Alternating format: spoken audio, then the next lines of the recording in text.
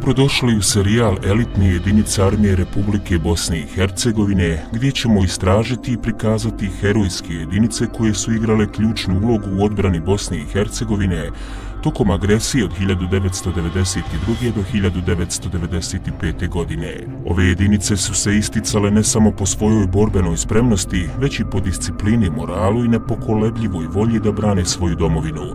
U svakoj epizodi ovog serijala donijećemo vam priče o formiranju ključnim bitkama i doprinosima ovih jedinica u odbrani Bosne i Hercegovine, te ispričati priče o njihovim borcima, njihovim žrtvama i hrabrosti koja i danas inspiriše. Ostanite s nama i pratite serijal Elitne jedinice Armije Republike Bosne i Hercegovine kako bismo zajedno osigurali da se herojski priče o hrabrosti i požrtvovanosti nikada ne zaborave.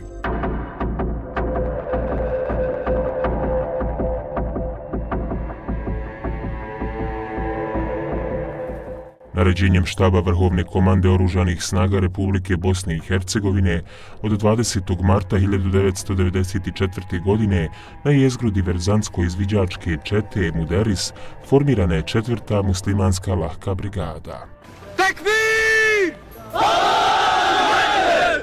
Shodno toj naredbi naređenjem komandanta četvrtog korpusa od marta 1994. godine određena je lokacija i ustrojstvo jedinice, Mjesto formiranja brigade je Bradina, a zvanični datum, odnosno njeno prvo svečano postrojavanje je 4. april 1994. godine.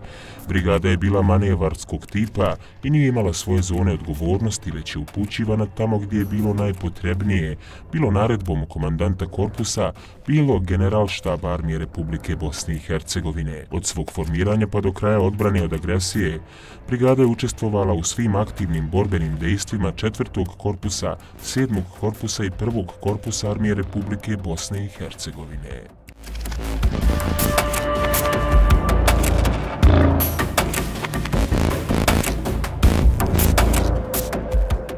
U okviru prvog konjičkog bataljuna kao dijela teritorijalne odbrane konjic, grupa vjerski i patriotski upredjeljenih sinova konjica 13. juna 1992. godine formira diverzantsko izviđačku četu Muderis. Ova četa okupljala je borce koji svoje živote i životni put prihvataju i vode po islamskim načelima.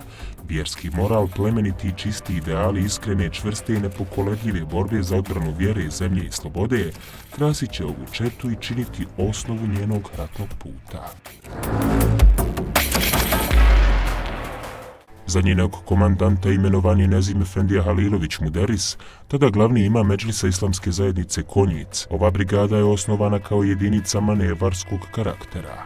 E, bio je sijač dva snajpera gdje sam, gdje sam i ja bio zajedno, zajedno s tim momcima. Tako da su e, četnici istjerani iz rovova i oni su pobjegli dole niši. Ovaj teren zaista, zaista neosvojiv i vrlo značajan. Na dan svog osnivanja jedinica kreće na prvi teren, prostor Bjelimića, lokalitet Ljubuče, sa zadatkom sprečavanja prodora agresorske vojske. Na ovom terenu ostaje sve do jula 1992. godine, kada se prebacuje na lokalitet Bijelo Brdo, Glavatićevo, gdje ima i svoj prvi ratni okršaj.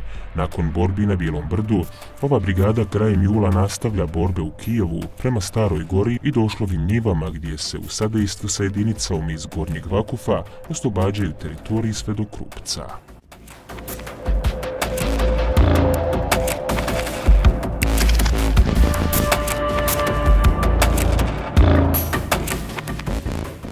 Od septembra do novembra 1992. godine, jedan vod ove brigade bio i podrška četvrtoj motorizovanoj brigadi iz Hrasnice.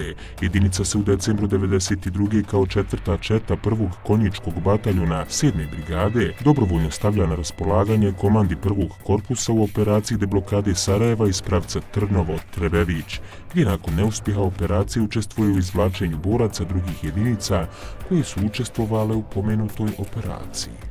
Thank you.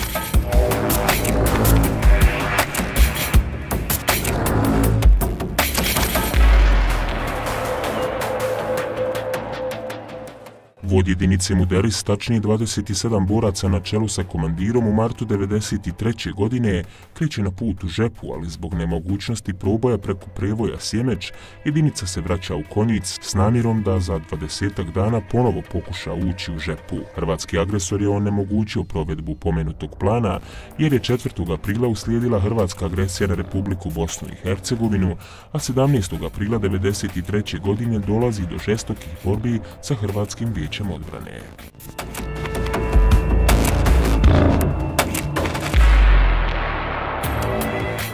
Sljedeću veliku bitku ova brigada imala je na Ljubini 28. juna 1993. godine, kada je jedinica oslobodila značajne kote za odbranu konjica, Ćelavicu i Jaje. Poslije Ljubine jedinica je vodila borbe oko Orahovice i Gašinog brda i u tim borbama imala nekoliko ranjenih boraca.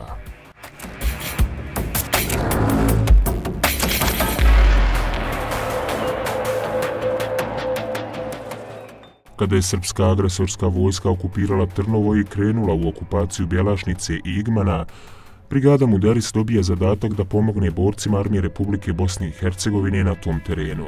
Značajnu i veliku bitku jedinica imala na Bijeloj lijesci 23. jula 1993. godine, u kojoj su srpskom agresoru naneseni veliki gubici u ljudstvu i tehnici.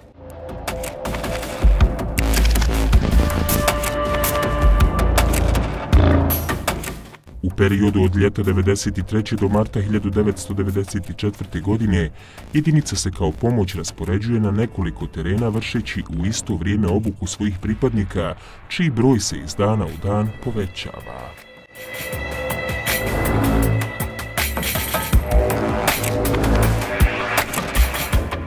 Veliki doprinos brigada je dala u operacijama Jezero 94, operacija oslobađanja gornjeg platoa Kisera, u operaciji Jesen 94, potom u zaustavljanju velike agresorske ofanzive na platovi Sočice i Bjelimića i oslobađanje prostora Požiljka, Piša i Komića Bjelimići. U martu 95. godine brigada je dobila naređenje o pokretu 7. korpusa armije Republike Bosne i Hercegovine prema Vlašiću, gdje aktivno učestvuje u izviđačkim i borbenim dejstvima na Vlašičkom platovu. U ljetu 1995. godine brigada oslobađa plato Treskavice, Od 4.6. do 5.7.95. godine brigada učestvuje u borbenim dejstvima na Hadžičkom ratištu, operacija deblokada Sarajeva. U augustu 95. godine brigada ponovo odlazi na Treskavičko ratište, reon Pašine planine i Lupoča. Tu su još i dejstva na Prenju i Treskavici.